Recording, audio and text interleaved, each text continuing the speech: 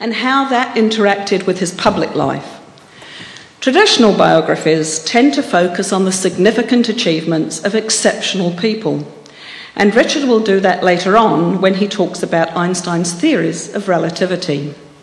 However, my interest is not just in Einstein's contribution to science, which was without doubt considerable, and of course the reason why we're here tonight anyway, but also the circumstances in which he produced his work. What I want to look at is not only what he achieved, but also the social and political environment in which he studied and worked. British sociologist Liz Stanley argues that any good biography worthy of the name should firmly grasp the cup of plenty that is a person's life. What that means is all aspects of a life should be considered, including what may at first glance seem to be incidental to the life that was lived. Is the fact that Einstein was Jewish irrelevant to any story of his life? Definitely not. He was born in 1879, the year that the term anti Semitism was first coined by Wilhelm Marr. And some biographers claim that his Jewishness was the major cause of Einstein's long wait for the Nobel Prize. After being rejected eight times, Einstein finally got the prize for his contribution to theoretical physics. In 1922, not for the general theory of relativity the special theory of relativity, but for his discovery of the law of the photoelectric effect. But more of that later. Biographies are very popular, a result perhaps of what has been called the gossip factor.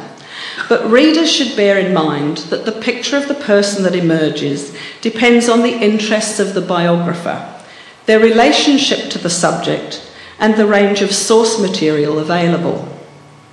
Hundreds of books have been written about Einstein, and some, especially the earlier ones, present sanitized versions of him.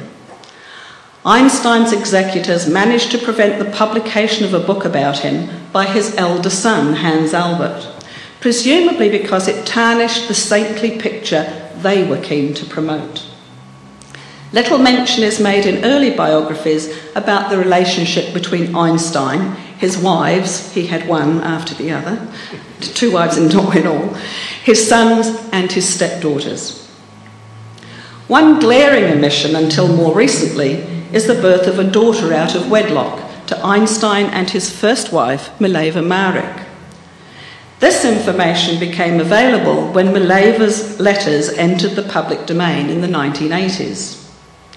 A different picture of Einstein may emerge once again once the letters between him and his elder son and those between him and his second wife, Elsa, also become available for public scrutiny. Does exposing negative aspects of Einstein's character minimize the significance of his contribution to science and to humanity? I firmly don't believe so.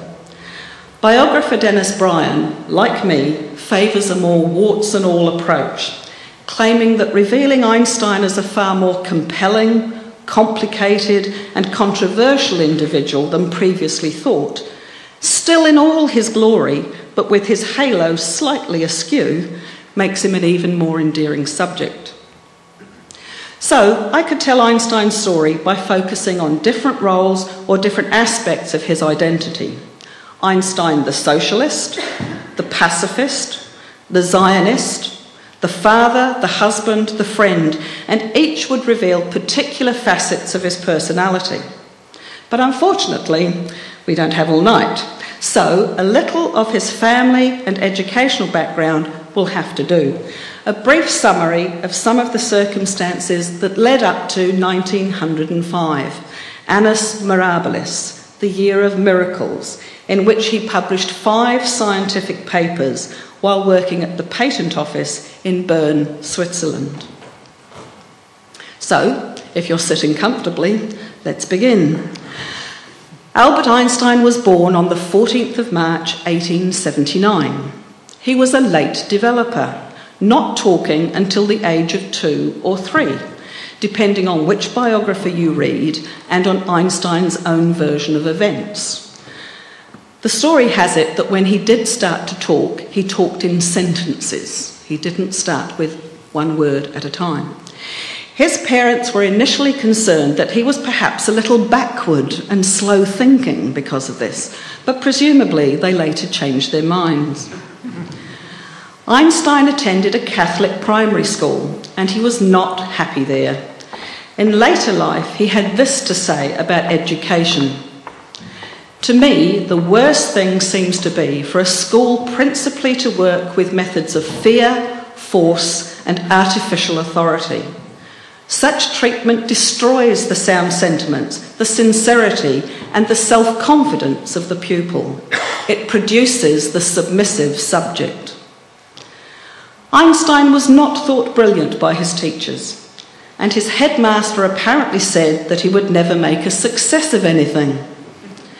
The reason for his unhappiness and his teacher's assessment was that Einstein was unorthodox in his thinking and in the way that he worked. He didn't take a teacher's word for something without question. He appears to have been a critical thinker and challenged authority from a very early age. At home, Einstein was interested in solving puzzles. His parents appear to have been quite liberal in their approach to child rearing and gave him his head, allowing Einstein to develop his own interests. At the age of five, he was given a compass by his father, and he later credited this with developing his interest in the forces of nature. Einstein's German high school was strict and very formal. Reports say that the teachers were heavy handed and impatient. His Greek master said he would never amount to anything, and he was considered by most of the teachers to be disrespectful. Some biographers argue that in terms of science, Einstein was largely self educated, and this was possible because of support from his family.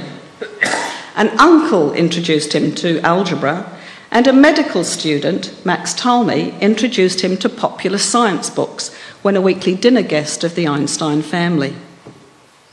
From the age of 12, science and philosophy became part of Einstein's life. He found the way science was taught at school boring, and I can empathise with that. He eventually dropped out for a year at age 16 and went to join his parents, who were by then living in Italy. After being turned down for tertiary education, Einstein attended a school in Switzerland that was much more to his liking. Winteler, the headmaster with whom Einstein was a boarder, was also liberal in his approach to learning and a free thinker. And this suited Einstein much better. At this school, Einstein appears to have been liked by both pupils and teachers, and after gaining his diploma, he decided on a teaching course. At Zurich University, his lecturers were extremely irritated by Einstein for failing to attend lectures and doing his own thing. One described him as a lazy dog who never bothered with maths at all. Einstein did neglect maths because of what he saw as over specialisation. At the time, he reasoned that he didn't have time to learn everything. It was only later that he realised his mistake. His wife Mileva, who had been in his class at university, helped him with his mathematics in the early years of their marriage. Later, he enlisted the help of friends. Einstein's teachers, this is a similar story, thought him arrogant, rebellious, and outspoken. One professor told him, You're a clever fellow, Einstein, but you have one fault. You won't let anyone tell you a thing. Einstein himself thought that the lecturers were too limited in their thinking and out of touch with the most recent scientific theories and research. Michael White and John Gribbin, in their biography of Einstein, suggest that this so called arrogance can be given a different, more positive interpretation. They suggest that Einstein knew best what worked for him and he had confidence in his own approach. Instead of being viewed negatively, as it was at the time, Einstein's method could, they argue, be described as showing maturity and self awareness rather than arrogance or disrespect. Nevertheless, after passing his exams, by cramming a friend's lecture notes because he hadn't been to the lectures, Einstein found it impossible to get a university job after getting his diploma. Several reasons for this have been put forward, but the general consensus seems to be that it was a combination of anti Semitism and his poor relations with teachers.